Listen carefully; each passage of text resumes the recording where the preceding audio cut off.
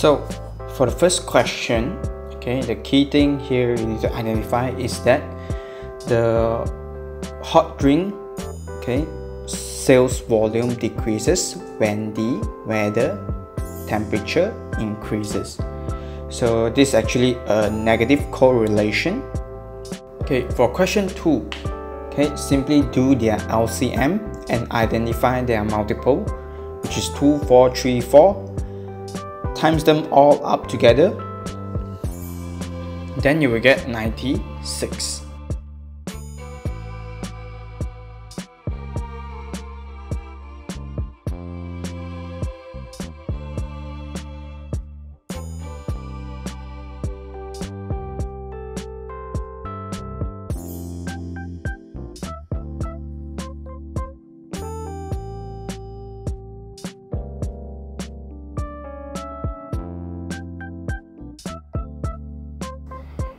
Whereby for question 3, first you need to convert the meter given into cm first, okay? So 1.2 meter is actually 120 cm, whereby 0.9 meter is actually 90 cm, okay? Then simply multiply these three variables together, 120, 90 and 53, then you will get 572,400 cm cube. So 1000 cm cube is actually 1 liter. So after the conversion, then we will get 572.4 liter. Whereby for question 4, their common factor here is actually 7 and p. So after you extract 7p from both variables, you will left with 2p plus 3q.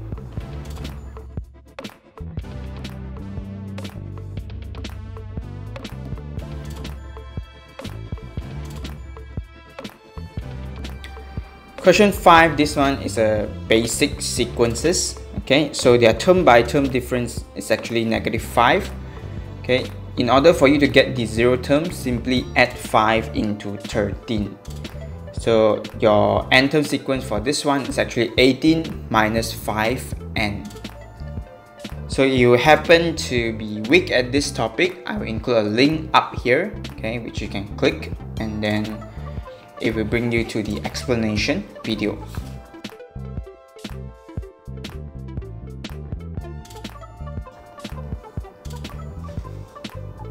Question 6. Okay, first I drew the arc, okay, which is more than 5.7 cm from B. Okay, so after I construct the curve,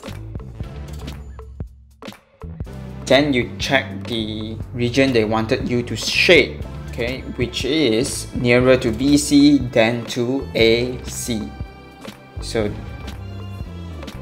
this is where the shaded region locates at okay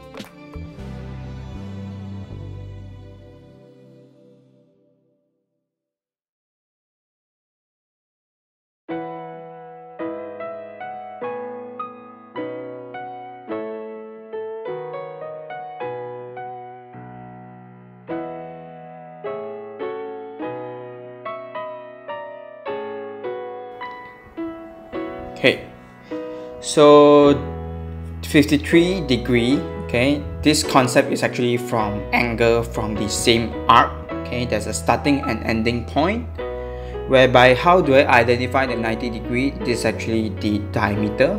So any angle that is from the diameter will be equivalent to 90 degree. So in order for you to get x, simply take 180 minus 53 minus 90, then you get the answer of 37.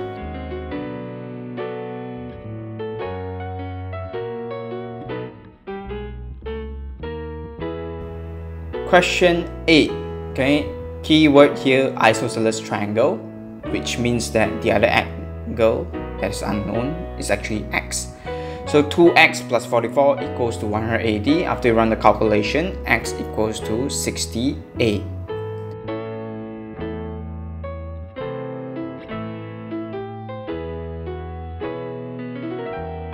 So for part B, for you to identify the side, simply use the exterior angle formula 360 divided by sides equals to 24 degree.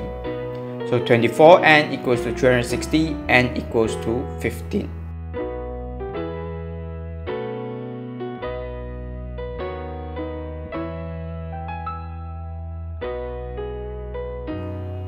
Question 9, pretty straightforward. Find the total ratio and multiply 1000 by the respective ratio. So Ahmed is actually 1000 times 8 over 20, vice versa.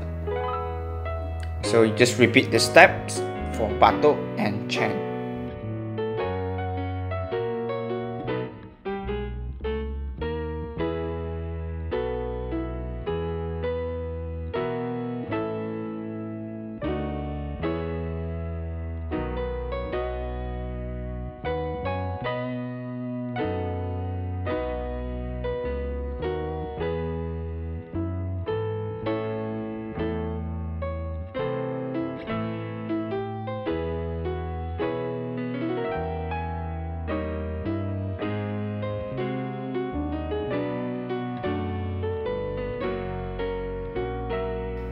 Question 10. Okay, so for this type of question, I usually construct the somehow like a graph, okay, to show the current stats. Okay, so Pavan is actually X. So brother number one save more than Pavan by 4 every month. So X plus 4, same goes to brother 2, so another X plus 4. So altogether they have 26. So x plus x plus 4 plus x plus 4 equals to 26. So x will actually be equivalent to 6 after you run the calculation. Okay. For you to write down the equation in x, it's actually 3x plus 8 equals to 26.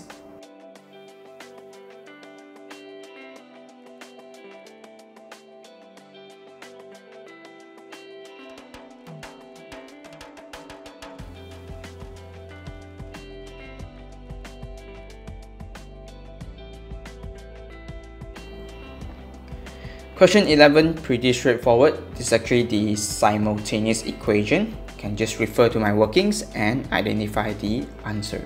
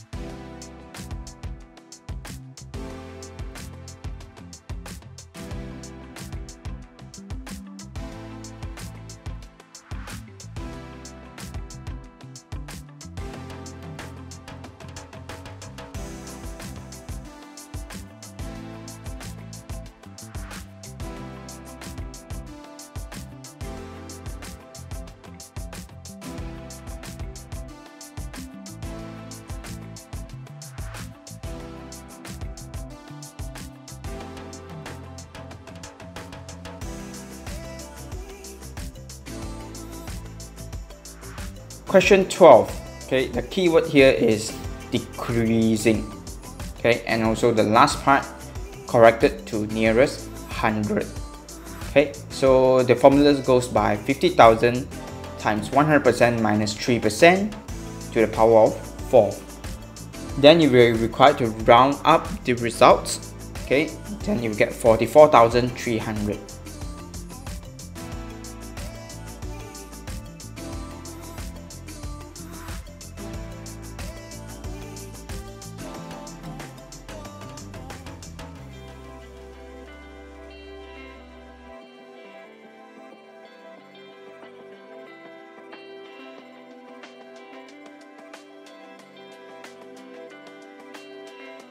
Question 13.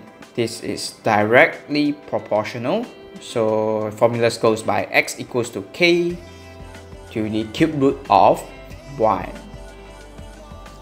So key in the variables x equals to 6 and y equals to 8. Then you will identify k's value as 3. Then substitute 64 into y's position.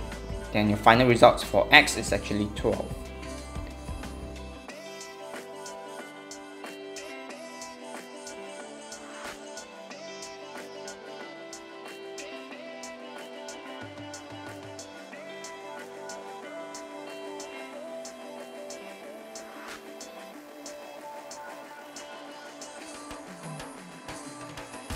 Question 14.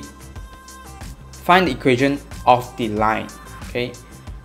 So y equals to 3x minus 1. This is the original line. So gradient of original times gradient of new line equals to negative 1.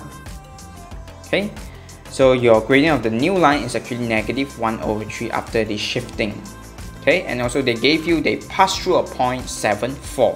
So substitute the value in to identify their C, which in our case is uh, 6, 1 over 3. So you change their denominator into the same, then you will get 3y equals to negative x plus 6. So 3y plus x equals to 6 is the equation.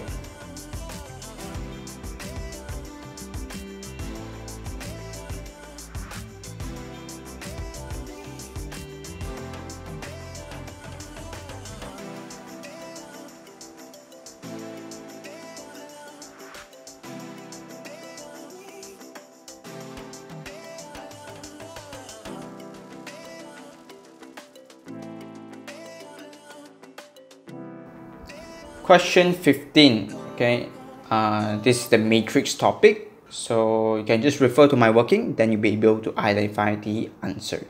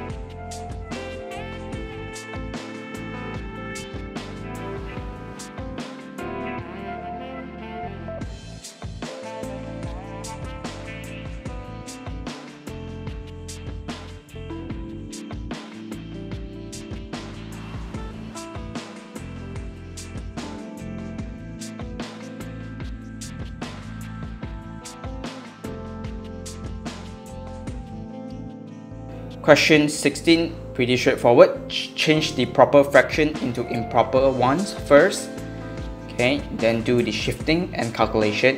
And your final answer will actually be 3, 1 over 3.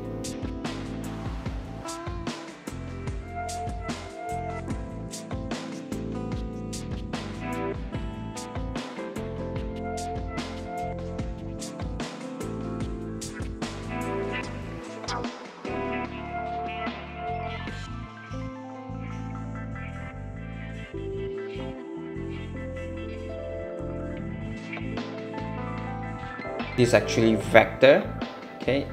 Express QR so QR is actually QP plus PS plus SR okay?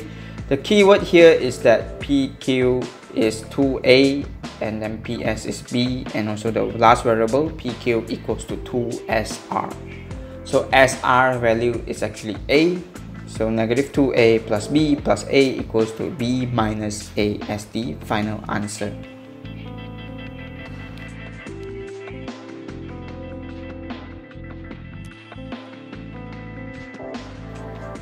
Okay, whereby for question B, the keyword here is actually from the ratio given.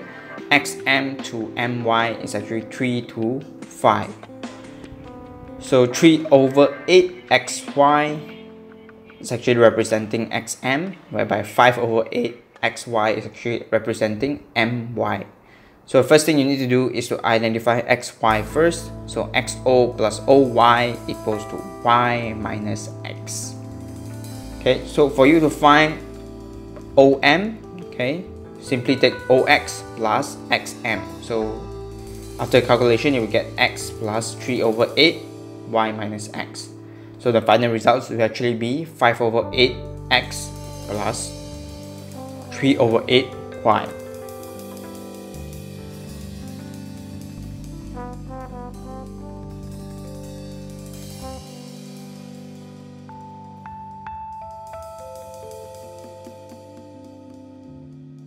So question 18. Okay, first I find the AC's value first, okay, which is the hypotenuse of the triangle ACB. Okay, so after the calculation, you get 3 square root 61.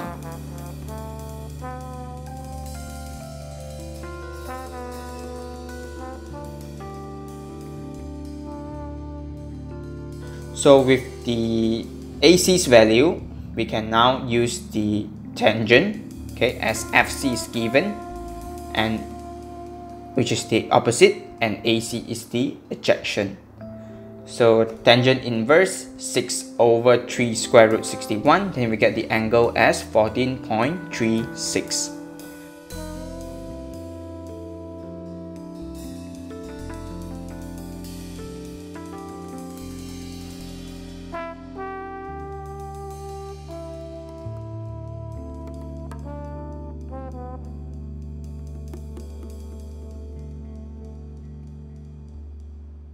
question 19 okay uh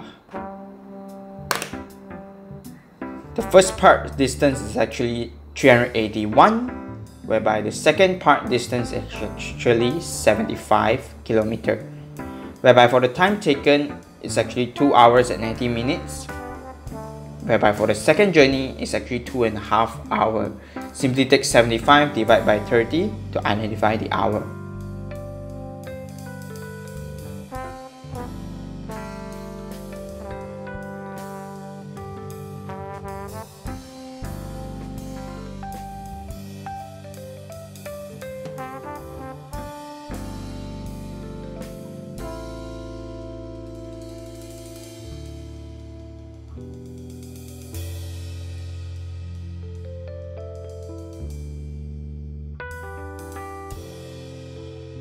So the total distance here will actually be 381 plus 75, whereby for the total time is actually 4, 48 over 60. The reason why I put it this way is that for the formula, it is using the hour as the measurement. So for the minutes, you're required to convert into hour by dividing it by 60. So the average speed is actually 95 km per hour.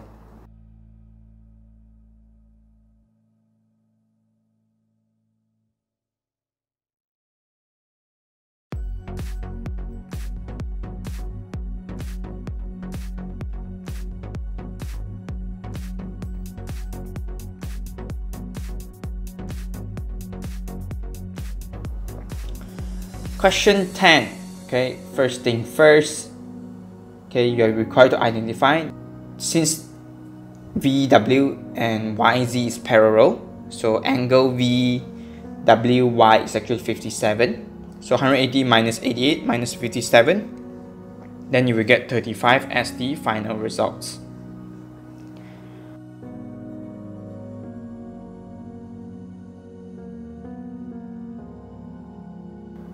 Okay, so first thing I wrote AC as x plus 7.2. So AQ's value is 7.2 over PQ, okay, which is 8.4 equals to x plus 7.2 over 12.6. You run the calculation, okay, cross multiply them, then you get 10.8 as the value of AC.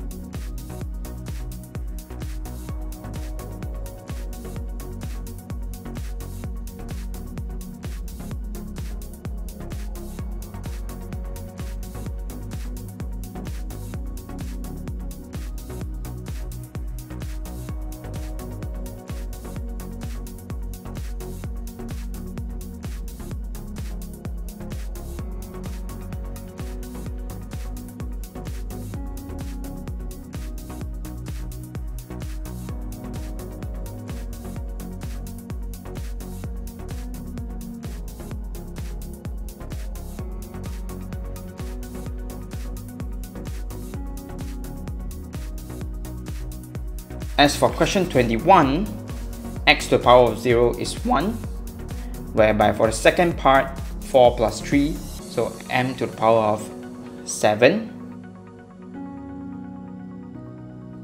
Whereby for the last part, okay, I change 8 and 8 into 2 to the power of 3 first, then multiply 1 over 3 into their respective power. So you will get 2p squared as 21, a part 3.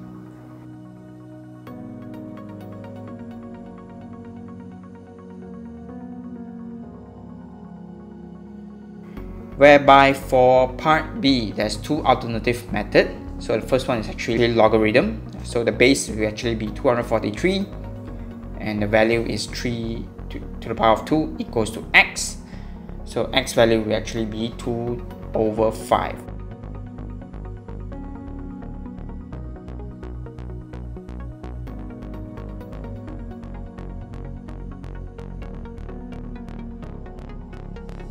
Alternatively, you can change 243 into 3 to the power of 5. So 5x equals to 3 to the power of 2. x equals to 2 over 5. So two different methods, but you will get the same answer. So you choose whichever you are more comfortable with.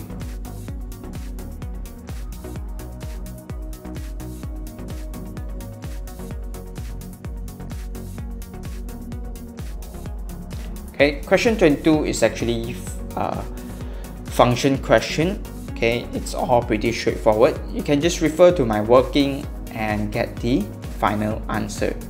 The tricky part here will actually be question C where it involves inverse function.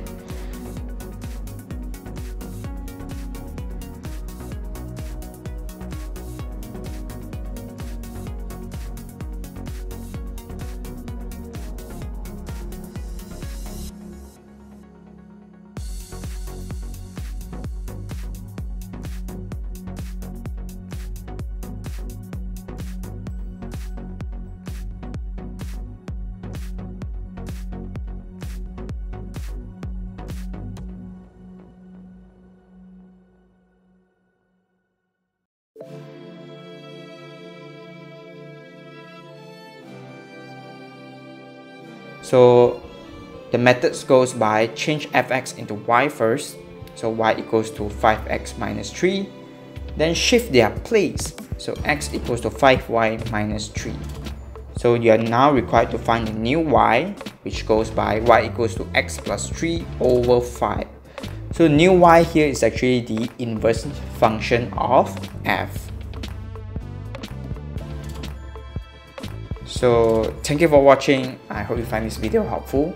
If you identify any problem, feel free to leave it down in the comment section.